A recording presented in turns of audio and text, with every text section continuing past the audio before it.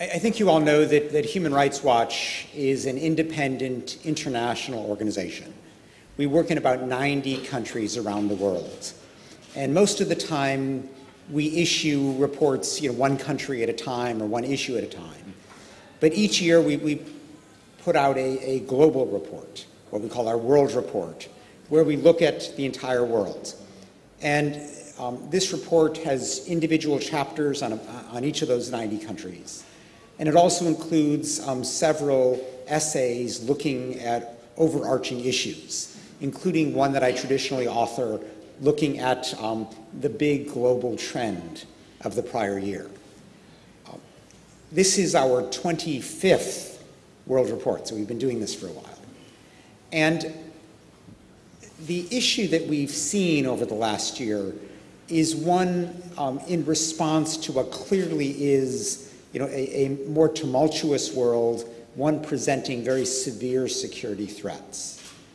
And we found that governments almost instinctively, when confronting security threats of the sort that is, say, typified by, by the terrible atrocities of ISIS or the Islamic State, governments tend to fall back almost reflexively on a pure security approach that ignores the role of human rights.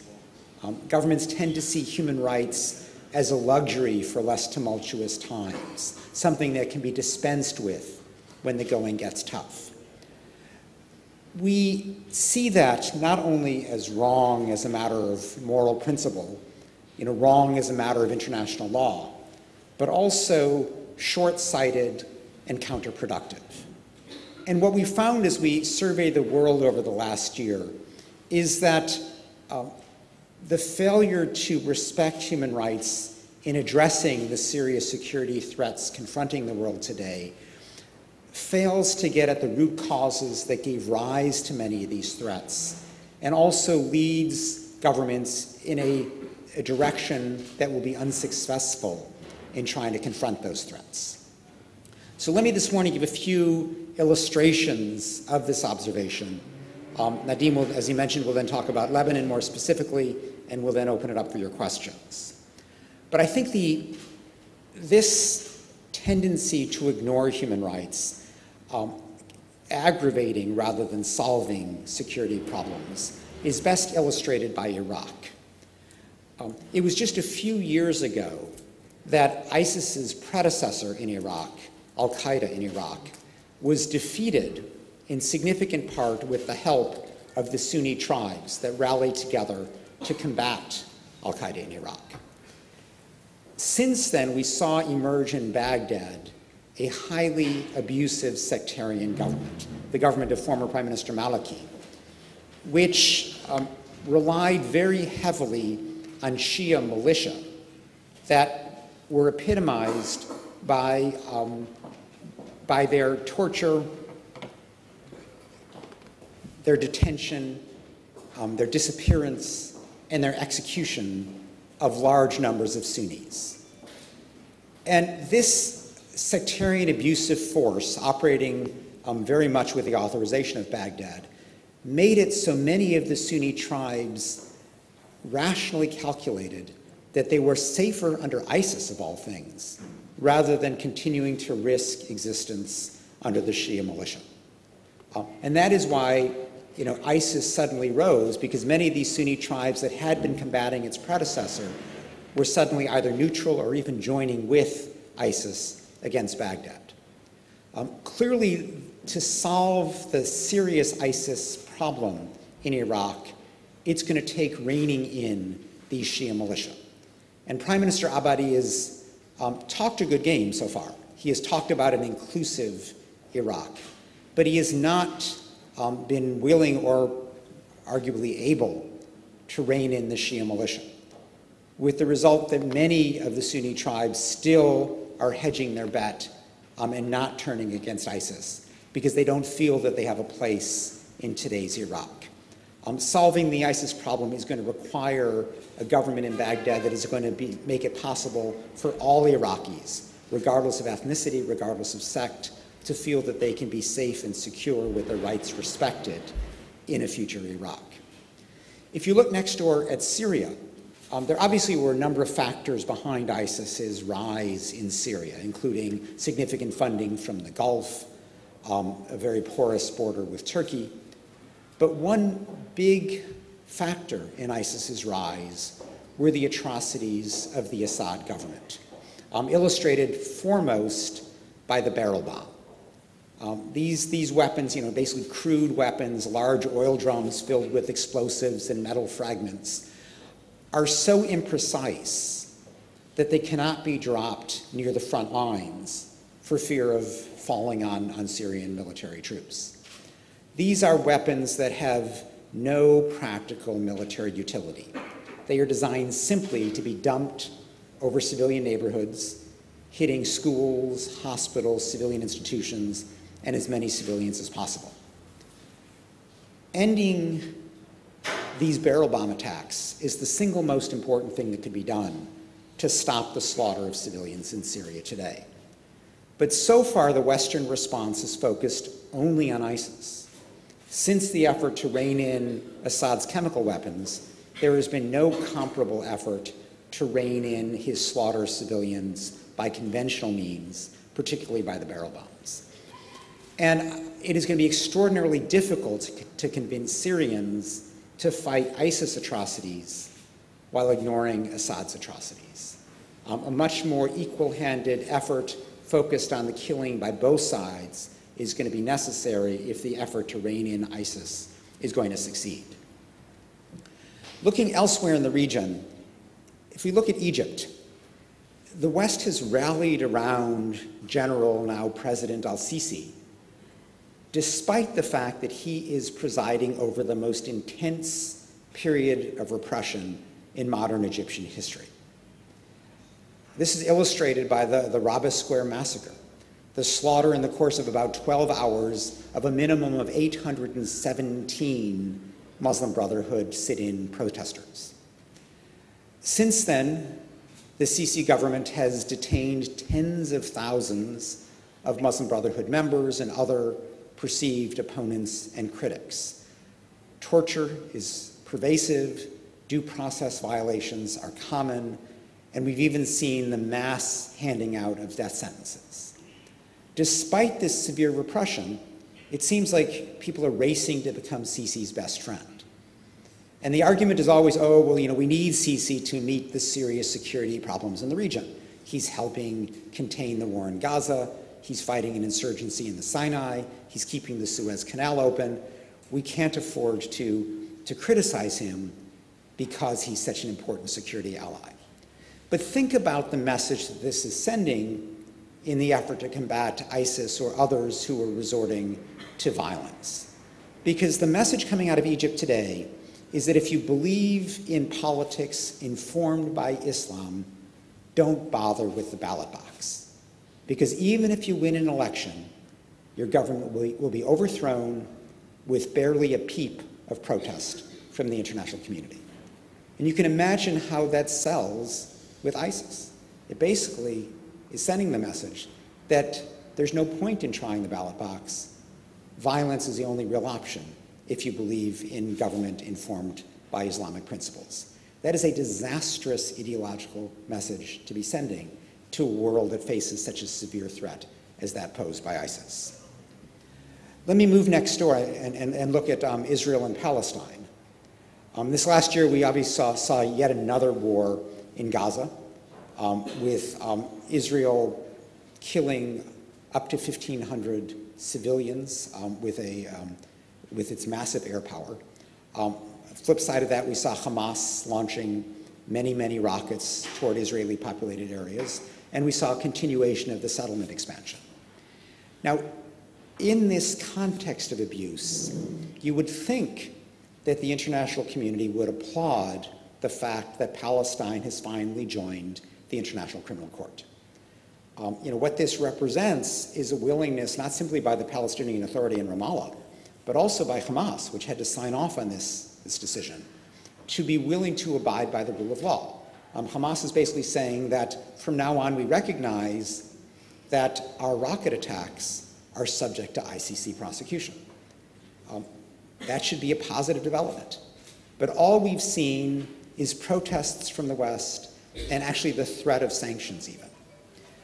Now, the arguments put forward by the West, you know, none of them carry water. Some say, oh, this is just another UN agency that's going to discriminate against Israel.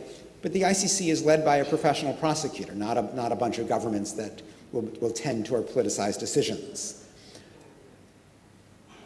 Many say, oh, this might impede the peace process. But we've known what a likely settlement in Israel and Palestine is going to be for a long time. The issue is how do you get to the trust so that the two sides can agree?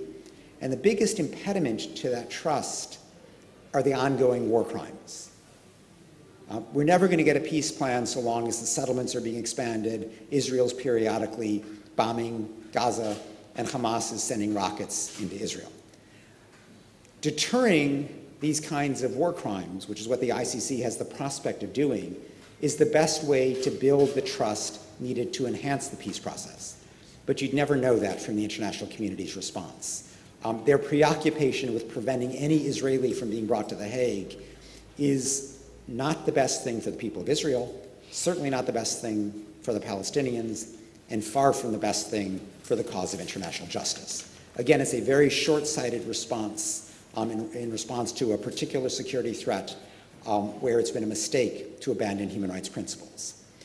Now, we find similar problems as we look around the world. In Nigeria, um, the Nigerian military is fighting Boko Haram, which in many ways presents an ISIS type threat in northeastern Nigeria. Um, but it's doing it in a classically corrupt, abusive way. And when it enters a town and burns down 2,000 dwellings, or when it summarily executes large number of prisoners, this naturally builds animosity that makes it much harder to win the hearts, minds, and cooperation of the local population, an absolutely essential step to reining in Boko Haram. If we look in um, Russia and Ukraine and the conflict in eastern Ukraine, the West essentially ignored Putin's intensifying crackdown over the last two years, figuring it just had more important things to do with Russia. You know, Russia was a supposed partner in peace in Syria. Russia was needed to get a nuclear deal in Iran. And as a result, there was very little pressure on Putin to stop this intensifying crackdown. The result of that is that Putin was able to build a closed information system in Russia where he and his allies totally dominate the airwaves and the ways in which most Russians obtain information. That one dimensional information system made, it, made Putin's initial adventurism in Ukraine possible and has made it possible to this day for him to be enormously popular in Russia because most Russians only see a propagandistic, one dimensional view of the conflict in eastern Ukraine. Um, addressing that security threat is going to require paying attention um, to the human rights problems in Russia as well as in eastern Ukraine um, in order for dissident voices and critics of, this, of Putin's adventurism to finally be heard. Now, the last example that I'll give is, is from the United States, because there we saw, um, after September 11th, 2001, uh, the systematic use of torture in response to a security threat. And this last year, um, that torture was, um, was spotlighted through a report from the US Senate Intelligence Committee, which described in, in incredible detail um, not only the use of torture, but also its, its use beyond anything that was authorized and its complete counterproductiveness. The fact that despite the CIA claims, um, little, if any, useful intelligence was gathered from the torture because obviously people say whatever the torturer wants rather than, than revealing accurate information. The disappointing thing is that while President Obama himself has ended the torture, he has steadfastly refused to prosecute the torturers. He hasn't wanted to pay the political price needed to launch those prosecutions. He hasn't wanted to antagonize the intelligence agencies. And he has um, argued, or his, his, administration has argued, that it would be unfair to prosecute the torturers because the torturers were smart enough to get the Bush Justice Department to issue a twisted legal opinion authorizing the torture. Um, even though we now learn from the Senate report that the CIA knew it was torturing, it knew it was illegal, and it went shopping around for pliant lawyers in the Justice Department to issue them their legal excuse, um, making these lawyers not independent judges of the torture, but actually accomplices in that torture. But despite this, Obama to this day refuses to prosecute. And the sad consequence of that refusal is that torture, in a sense, remains a policy option in the United States. Future presidents will see that there may well be law against torture. There are treaties the U.S. has ratified against torture, but they will see that there was no penal price to be paid for the use of torture, which is simply going to make it much more likely for some future president to resume the torture option. So Human Rights Watch is continuing to put intense pressure on the U.S. government to prosecute the Bush CIA torturers um, before this precedent of impunity is allowed to stand. So let me just conclude by saying that we've, um, we see that many governments around the world, in times of serious security threats, view human rights as a luxury, as an unnecessary restraint, something that ties their hands in going after serious security problems. That's wrong as a matter of law. It's wrong as a matter of moral principle. And what we see time and time again is that it's wrong as a matter of strategy as well. It doesn't make us safer. It doesn't make us allow us to confront security challenges more effectively. And what we urge governments to do in, in this year's Human Rights Watch World Report is to view human rights not as some kind of arbitrary restraint, but rather as a reflection of fundamental moral values that are rarely worth the price of abandoning. Rather than, than seeing them as an obstacle, human rights should be seen as a moral guide, even in difficult, challenging times. Thank you.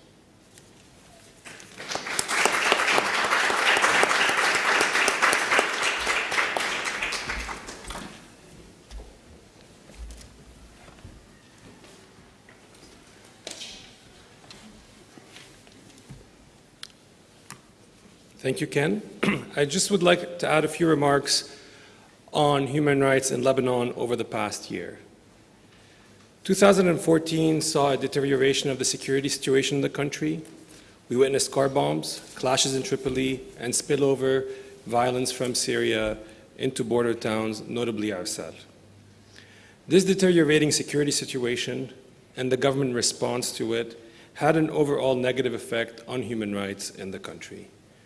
Two areas of concern stand out for us. First, the new restrictions that have been imposed on refugees fleeing from Syria. And secondly, the ongoing ill treatment, torture, and other due process violations by security forces, particularly during security operations. In addition to these two crisis related concerns, we saw Lebanese democratic institutions falter as parliament failed to elect a president and also parliamentary elections were postponed yet again, this time until 2017. This meant that the many needed reforms in this country and many draft laws are still waiting in the drawers of Parliament. Draft laws to stop torture, draft laws to improve the treatment of migrant domestic workers, laws to enact an optional civil code for Lebanese, or even to set up a commission to investigate the fate of those who disappeared during Lebanon's civil war. The only positive advance over the year was the adoption of a law to protect women from domestic violence. It's an important law, it has many flaws, but it is a step forward.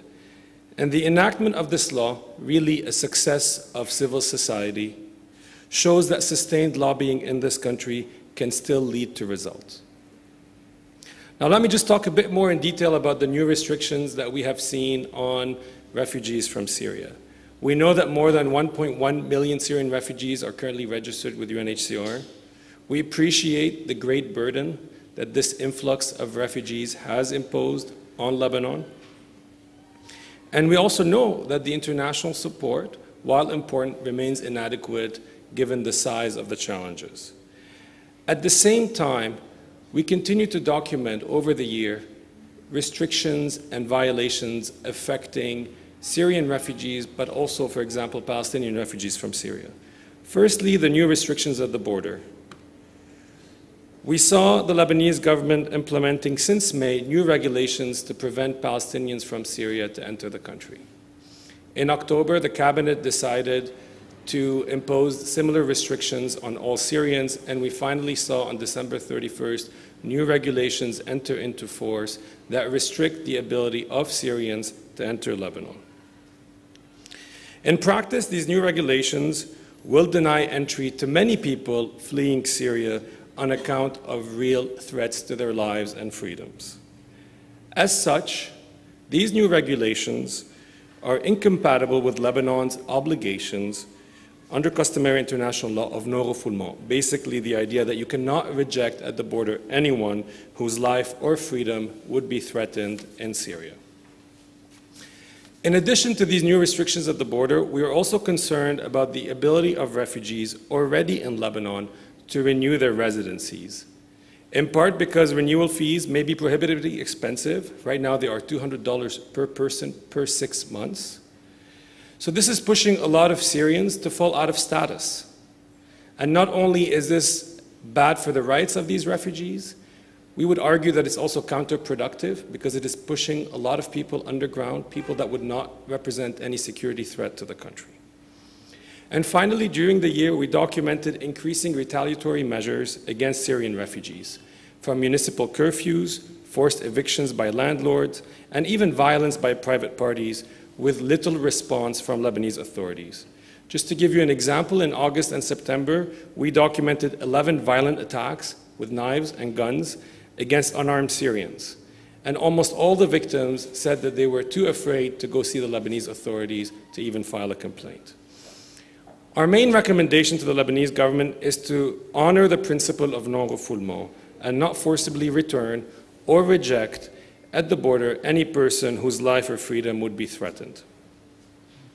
And if the December 31st regulations are not going to be rescinded, then at least we would argue that the current criteria need to be expanded, particularly the criteria for humanitarian admission, so that all those who would be deemed under the international definition of refugee to qualify as a refugee to allow them to enter into the country.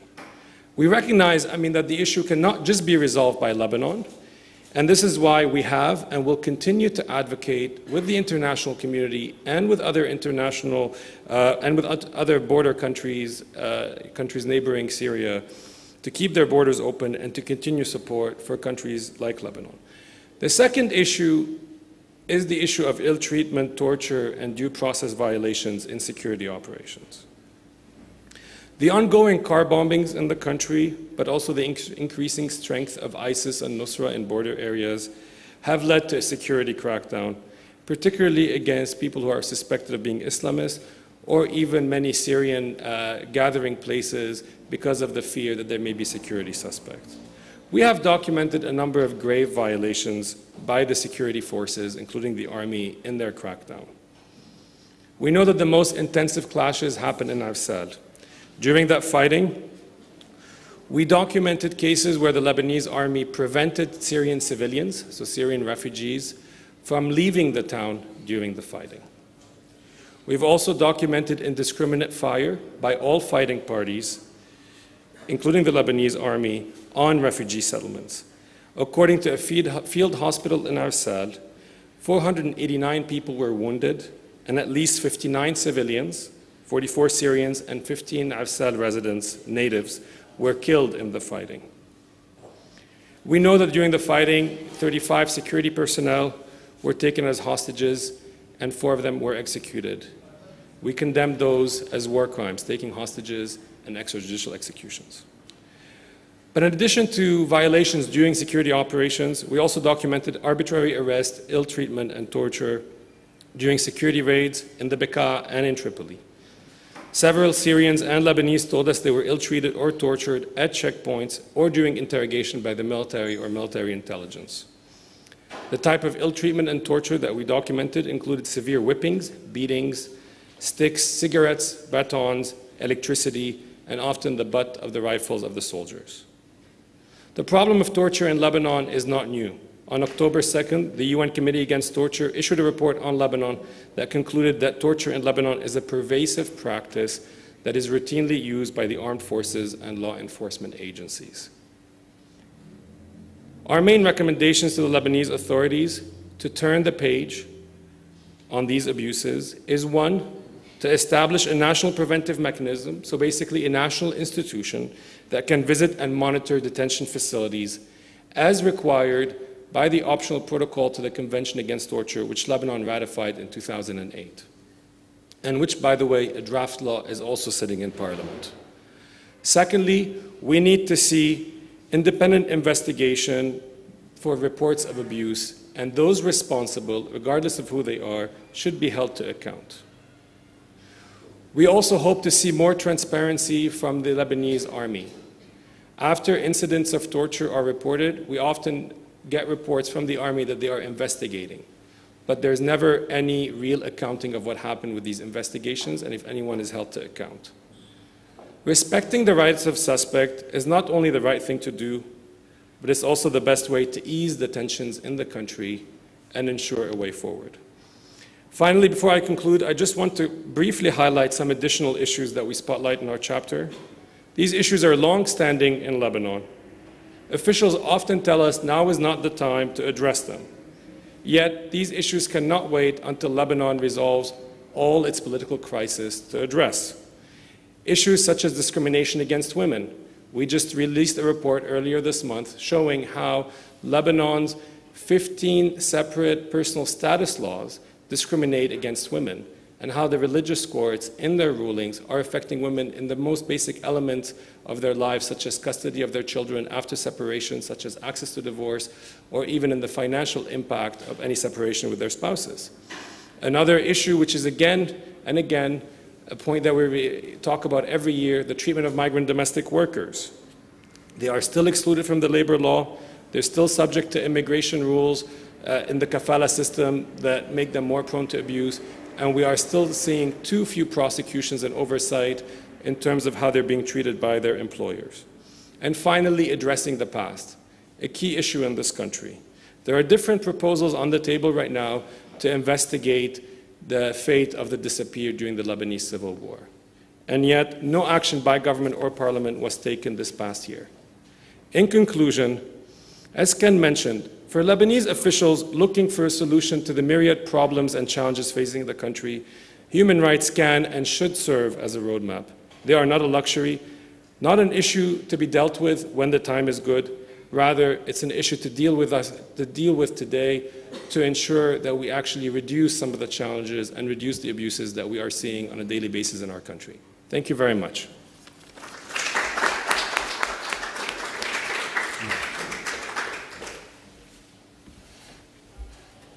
Okay, um, both Nadim and I would welcome your questions.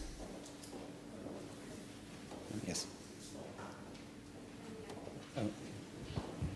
Hi, my, um, my question is actually to Nadim. I was a couple of weeks ago in Tripoli and I was uh, spending time with many of the Islamists there. And from my, what I understood from them that is there a lot of arrests that sometimes are not warranted that are happening in Tripoli. And uh, I'd like to know if uh, Nadim can confirm that, if he knows how long these people are arrested for, and because a lot of times these people are arrested because they have pictures of Nusra, not necessarily do they support Nusra, or they've downloaded uh, rebel uh, websites. So can you confirm that, and do you know how long these people are held? Um, sorry, my name is Mona Alami. I'm a freelance journalist. Do you want to do multiple questions or We'll do one time. one to one to one? Okay. Um, yes, this is an issue that we have been documenting. A lot of uh, these people are being arrested by the army or military intelligence or military police, subject to basically someone informing on them or some sort of notice, uh. Um, so no warrant is being issued. A number of them told us that they did not know why they were arrested. Uh, in terms of time that they're being held, uh, most of the cases we've documented spent between five days to 15 days in, uh, in custody without any charge being brought forward, which is a violation of Lebanese law, which basically says you have to be brought before a judge within 48 hours or potentially after, you know, this period can be renewed once, so a maximum of four days. But yes, this is, this is a common practice that we are documenting, that we will be releasing a report on in April on these various abuses, and that we have highlighted to uh, Lebanese authorities. The best way to counter that is to create this national institution that can go and visit all places of detention, including places of detention uh, used by the army. Hello, I'm Susana Samham from the Spanish uh, news agency EFE. My question is to Mr. Kenneth. I would like to know which is the situation in Latin America and uh, which are the main problems you have detected in, in this region. Thank you. Well, the, the issue that we highlighted in, in the report was Mexico, which you know, I, I think um, demonstrates this problem of ignoring rights in the name of security and having that be a, a counterproductive approach. Uh, you know, we all know that Mexico, very much at the urging of the U.S. government, has been engaged in a, so-called war on drugs. And this past um, fall, we saw one manifestation of that, which was the um, disappearance, really the killing, of 43 young students who happened to cross a local official who was in league with the drug cartels. And because Mexico has been so focused on using a military approach to fighting the cartels, it has allowed a, system of impunity to exist with very little, if any, accountability for atrocities committed not only by the cartels but also by uh, the military and the police.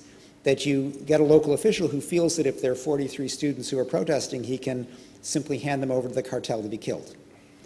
Um, and so I think the, the challenge for Mexico is to move beyond this atrocity approach to drugs. Um, Human Rights Watch actually believes that um, the best approach would be one that um, decriminalizes drugs, um, that undermines the market that allows the drug cartels to thrive. Um, and using an approach like that, we feel is going to be far more effective than continuing to use torture and disappearance as, as a key component of the so-called war on drugs. Thank you. I'm Ayman Mhanna, head of the Samir Kassir Foundation, a freedom, uh, sorry, a freedom of expression organizations working regionally. My question is about a human rights position on the issue of privacy, invasion of privacy by public authorities specifically. Is it something that you are following? And what's your position on it when it comes to Western countries? But also we know that in our region, um, our police forces are receiving trainings and software from their Western counterparts under the idea of fighting terrorism and infiltrating terror groups, but at the same time there is absolutely no legal standard for the use of these software, and so many cases of journalists, bloggers, and private individuals who, whose privacy was completely um, invaded by authorities under so many different uh, pretexts. So what's your position on this? Thank you. I mean, Human Rights Watch has been doing a lot of work countering the approach epitomized by the NSA in the United States which, you know, as you all know, has, um, as, as revealed by Edward Snowden, has massively been invading our privacy. And there are two key rationalizations behind that approach. The first is the view that none of us has any privacy interest in our metadata. You know, all the stuff stored in your phone, you have no privacy interest in that. The reason the US government gives is because I shared this information with the phone company or the internet company. And having shared it with that company, I can't claim a right of privacy against the government. That's a crazy theory. You know, and, and even the US Supreme Court, which was the author of that theory, is backing away from it. Obama seems to be backing away from it a bit as well, but that still is the law and governments around the world are using that, you know, sharing rationale to simply scoop up everything in my phone and on all your phones, um, saying we have no privacy in that metadata. So that's one thing that needs to be changed. The, the other thing is that the US government takes the view that the right to privacy does not extend extraterritorially. That is, it recognizes a right to privacy for US citizens. It recognizes a right to privacy for non US citizens in the United States. But anybody in this room who's not a US citizen, its view is that it can listen to your phone calls, the content of your phone calls, it can read your emails without impediment, that the right to privacy does not protect you. Now, that also is a theory completely at odds with what most people think. And there's a, a, serious effort underway at the UN Human Rights Council in Geneva, led by Germany and Brazil, which Human Rights Watch very much supports, um, making clear that the right to privacy should be global and that governments should not be able to do to people outside of their territory what they're not allowed to do to people inside their territory. So these are, are big issues. Um, the battle is underway, but those are the two key rationalizations for massive invasions of our privacy, which we need to change. If I can just add something as well, Ken, there's also the issue of transfer of technology uh, and by companies to abusive governments, which is also an issue we've been working on. Uh, in Libya, uh, some of our researchers happened to find some of the documents and evidence indicating European companies that have sold technology to the uh, Gaddafi government at the time. And there are, you know, we're in partnership with other groups in Europe and others. In some cases, they, these groups are bringing lawsuits against these companies, and there are now efforts to develop guidelines at the European Union in terms of which, uh, you know, the same way there are rules about transferring weapons, that there should be rules about transferring uh, such technology. We've done a lot of work, not just on Middle East, but also on Ethiopia and other uh, countries that are using these technologies uh, to listen to people, but also to arrest them, and in some cases to torture them. Dalal Mawad, LBCI. I have two questions for Nadim. Uh, did you look into the, the case of the raid into uh, Rumiyeh prison uh, two weeks ago? I, I, can't remember. We got a lot of reports that uh, abuses were, were made during that raid, not just against the Islamist prisoners, but also people who have no uh, relation to those Islamist people stripped naked for days. Uh, they stayed without food. Mothers who I've spoken to were really worried. Did you look into that and what's your take on that? And the second question is regarding the new labor restrictions by the Ministry of Labor who've affected the domestic uh, workers in, uh, in Lebanon. We've heard of many cases uh, where people could not renew their, uh, their permit and have to leave after spending uh, 12 and 15 years in, in Lebanon. Thank you. Regarding the first question, uh, we have not yet received any independent confirmation of what happened during the raid on Block B in Rumiyeh. Uh, we are hoping to look into it, uh, but we don't have right now any information to communicate. But I think this issue raises the, broader concern about what is happening in our prisons today. And again, what is needed is not simply to say the Lebanese state has managed to retake control of Block B, what we need to hear is what is the real reform plan for prisons, not just in terms of building new facilities. We recognize that it's needed to have better facilities, but also in terms of who oversees what happens inside the prisons and what do we do about the almost 70% of detainees in prisons who have not yet been convicted and they're just waiting for trial. So really, this is, this is an, the broader issue of prisons is a big concern, and we do hope to get more information about what happened in the raid on Block B. On your second point, yes, this is an issue that we have been following uh, closely over the year. Specifically, as you know, most migrant domestic workers in Lebanon come on what is called a Category 4 uh, work permit, which does not allow them to bring with them or to sponsor their family members. Now, a number of these domestic workers uh, who've actually been legal for their entire stay in Lebanon for many, many years have had children in Lebanon. You know, you can't stop people from loving each other or stop people from having children. They've had children, and many of these children uh, were born in Lebanon, have only known Lebanon, have only gone to school in Lebanon, and suddenly this past summer, we saw that General Security was refusing to renew their permits. They were getting their permits basically because they were registered in school in Lebanon. And this has led many families, uh, uh, many children to be denied a renewal of their residency, and many times their mothers have also been denied their residency, and they have been uh, told to, to leave the uh, Leban- to leave Lebanese territories. We've, uh, you know, we've issued a press release on it. We've written to General Security. We are hoping to, to meet with them to get them to uh, amend that policy and go back on the measures they have taken because this policy is violating some basic international rights, including the right of children to stay with their family uh, and family cohesion in general.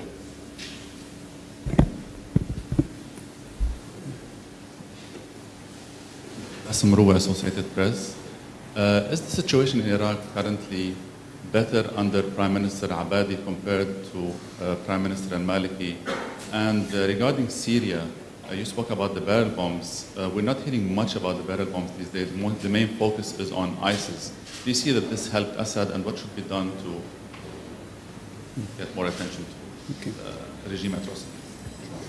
Well, In terms of Iraq, I I think the, um, there's been a, a positive change in the rhetoric. You know, Abadi speaks much more inclusively about all Iraqis having rights within the country than Maliki did. Um, in terms of implementing that rhetoric, we haven't seen a lot. I think the most positive thing is that um, Abadi does seem to have made some progress in reining in the Iraqi Air Force, which had been indiscriminately bombing Sunni cities like Fallujah, and that seems to be curtailed. You know, maybe not completely stopped, but, but less of that. Um, he is addressing the detention question. He, he purports that he plans by the end of February to set up some kind of central registry for all detainees so people don't disappear. It Remains to be seen whether he can do that. But the big problem of the Shia militia has not been solved. Um, and the Shia militia continue to operate. They continue to go into Sunni villages and basically treat everybody in that village as an ISIS supporter and cleanse the village. Um, it's not clear how much capacity the prime minister himself has to stop that, but the international community has a lot of leverage. It's, it's throwing military hardware and assistance at Iraq, and in essence, is underwriting the Shia militia. So we're urging the international community to use that considerable leverage to make clear that ending the atrocities by the Shia militia um, is a precondition to ongoing security assistance, and frankly, a precondition to any kind of successful counterinsurgency strategy um, aimed at ISIS. In terms of Syria, you know, I think what's going on these days is the, the international community is so focused on ISIS that it has stopped looking at Assad's atrocities. And that's why we don't hear about the barrel bombs. But the barrel bombs are killing far more people than ISIS is, you know, awful as ISIS is. And I don't see how a successful strategy is going to be waged against ISIS while Assad's atrocities are ignored. Um, as I mentioned, stopping the barrel bombs has no military significance for the fight between Assad and ISIS. These are such indiscriminate weapons, they cannot be used on the front lines. They're not used to advance a particular military operation. They're simply used to dump into civilian neighborhoods and kill as many civilians as possible. The barrel bombs can be stopped without altering the balance of power between Assad and ISIS. And so we're hoping, Human Rights Watch is hoping, to persuade the international community to put pressure on Assad to stop the barrel bombs, recognizing that that's not going to impede the fight against ISIS, and indeed, if anything, it will assist that fight by making clear that the West cares about all Syrian civilians, not only Syrian civilians who are victimized by, by ISIS. Now, it's worth noting that you know, the two governments with the greatest influence over Assad are Russia and Iran. And you know, they're going to stand by Assad, but do they really want to stand by the mass slaughter of Syrian civilians using the barrel bombs? And so we appeal foremost to Tehran and Moscow to use their considerable leverage to convince the Syrian government to stop barrel bombing civilians.